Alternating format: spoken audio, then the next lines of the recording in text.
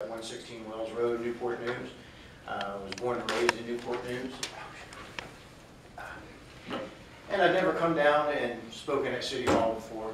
Um, I was compelled to do it because what I've seen going on with concerning the city park, or the city farm. Um, It kind of is drawing people like myself out that would normally never come down here and speak out, to take the time off to come down and do it. Because kind of what I see happening is, we're not doing what the people are saying. I mean, has anybody ran across a group of people that's for turning it into expensive housing? I can't find it. I haven't found one person. Um, From what I understand, all the meetings that you've had, you've only had one person come forward in favor of building houses, and he works for a developer or something. That's the story that's going around. So if there's anybody in favor of building the houses, I'd sure like to meet them. Um, Again, I'm not a professional speaker, so I'm just going to kind of just tell you what I'm thinking. And if you get in a boat and ride down the James River and the Warwick River, we got plenty of houses along the river. There's plenty of places for people to live on the water if they can afford it.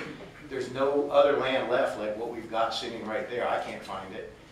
You've got the park at the James River Bridge, you've got the park downtown. Why not have a park on the water at the north end?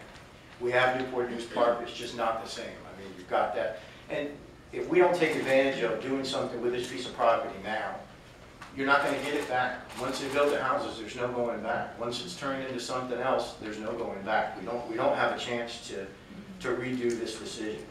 Um, I guess all I'm asking is that, think about what the people that put y'all there are asking you to do. Think about people like me that would never come and speak to you for any other reason, have never had in 50 years of living in Newport News, had a reason to come down here. And I'm down here today because I think that should stay a park. That's what it was supposed to be back in the 90s when it was originally voted on.